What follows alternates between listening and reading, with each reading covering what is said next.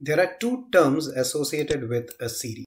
One is divergent and another one is convergent. Now, what do you mean by these terms? Suppose we have the series a1 plus a2 plus a3 plus a4 plus etc. Whatever kind of series it may be. We know that this is an infinite series. If this infinite series has a sum which is finite, that means if the sum of all the infinite terms in the series is finite, then we say that it is convergent. And if the sum of all these terms is infinity, then we call it as a divergent series. For example, consider the series generated by the sequence 10, 100, 1000, 10,000, lakh, and so on. So if we write this as a series, then it is, now when you look at the terms of this series, you can see that the terms is increasing. That means 10, 100, 1000, 10,000, then it will be 1 lakh, then it will be 10 lakh, then it will be 1 crore like that.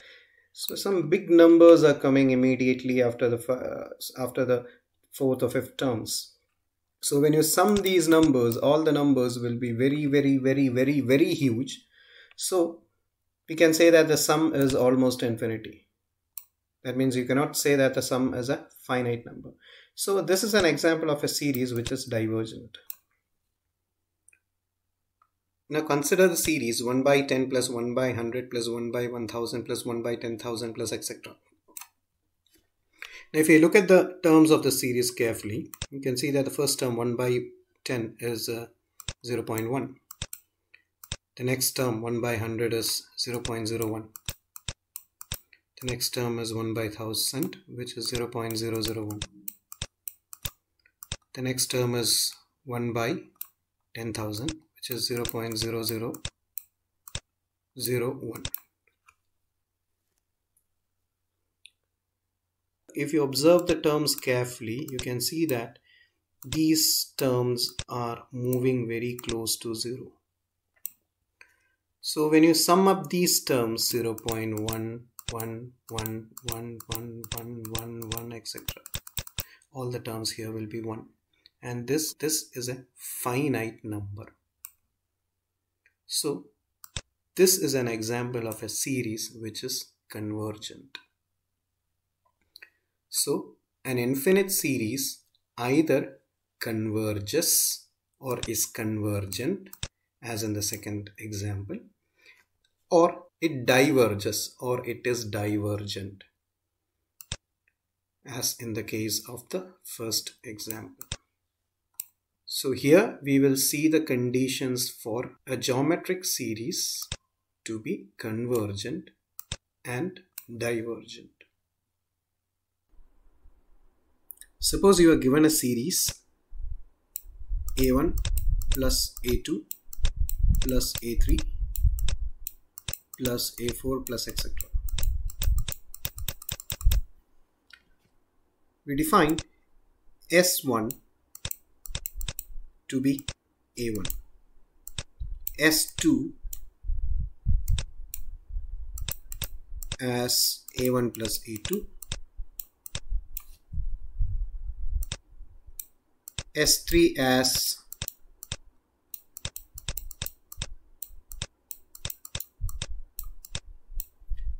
A1 plus A2 plus A3 S4 as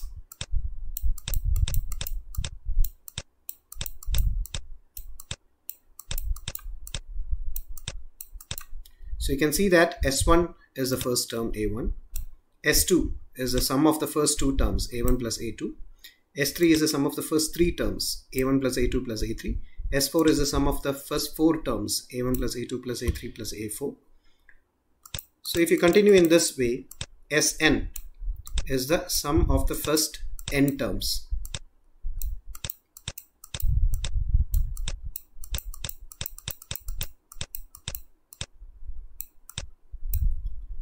a1 plus a2 plus etc plus an. Now we get a sequence here.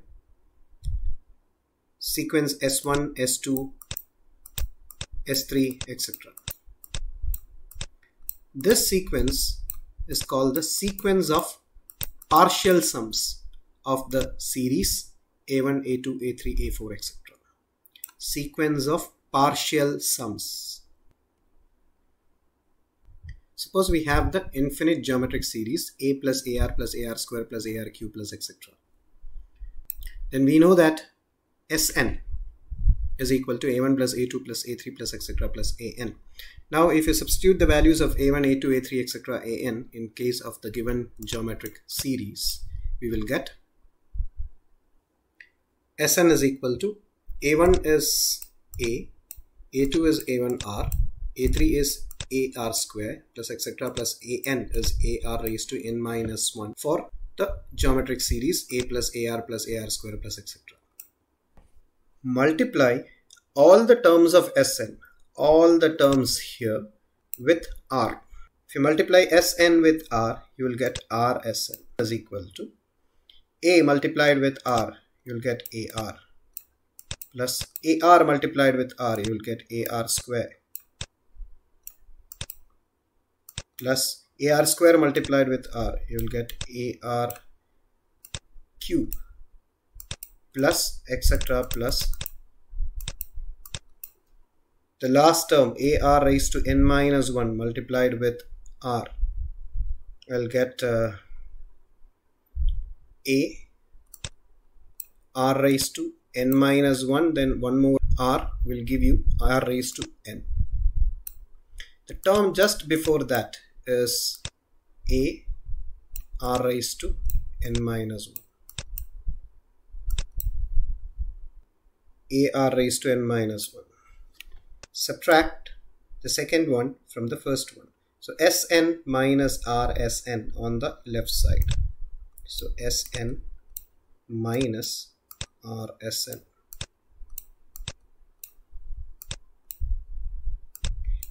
minus Rsn on the left side equal to here you have A so I'll write A here now AR minus AR will delete.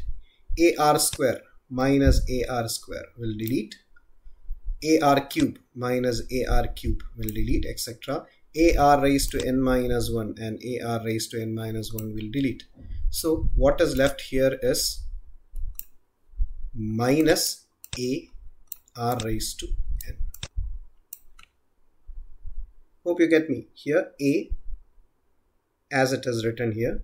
Then you have AR minus AR which you can cancel. AR square minus AR square which you can cancel. Then the next term here is AR cube.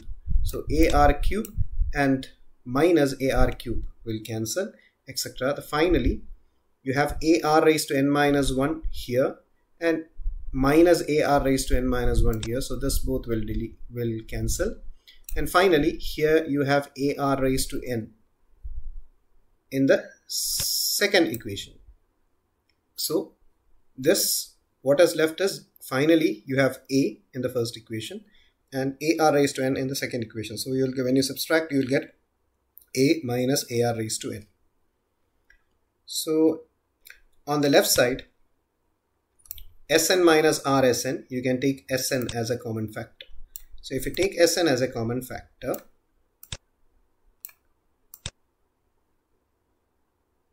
in place of Sn you will get 1 and from here when you take Sn as a common factor you have minus r left there.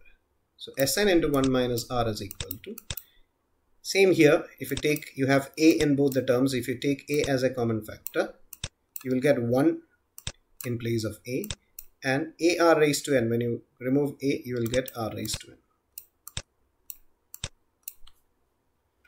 Now to find Sn, divide both sides with 1 minus r because you got a 1 minus r along with Sn here. So to remove this 1 minus r, divide both sides with 1 minus r. So what will happen is that 1 minus r from the numerator and denominator will get cancelled on the left sides. So you'll get Sn is equal to a into 1 minus r raised to n by 1 minus r. So this is the formula for finding Sn for a geometric series.